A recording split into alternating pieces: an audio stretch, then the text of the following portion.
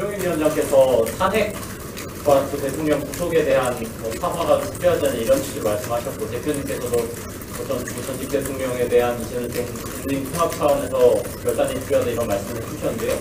최근 이런 논의가 자꾸 나오는 것에 대해서 당 차원에서 어느 대표님도 어떤 의미를 갖고 계신 게 있는지 궁금합니다. 어, 저희들이 탄핵을 당하고 네 차례 선거에 실패한 음, 그런 과정이 있습니다만은 어, 사실은 잘못하면 잘못됐다고 국민들에게 에, 진솔하게 책임을 인정하고 사과를 구하는 그런 과정이 있어야 하는데 에, 저희들 총선 백세도 일부 그런 부분이 언급되는 걸로 알고 있습니다만은 어, 지금까지 정치적 실패에 관해서 어, 국민들에게 진솔하게 책임을 인정하고 사과하고 책임지는 일이 없었다. 이런 지적이 있기 때문에 그 일환으로 비대위원장께서 그런 말씀을 하신 걸로 알고 있고 저는 그 문제에 관해서는 자세하게 아직 어, 대화를 나누지를 못했습니다. 못했지만은 어, 전반적으로는 어, 미래통합당의 이 미래통합당과 그 전신 정당들의 실패에 관해서 국민들에게 에, 진솔하게 사과하는 과정이 필요하다 아, 그런 취지로 이해를 하고 있고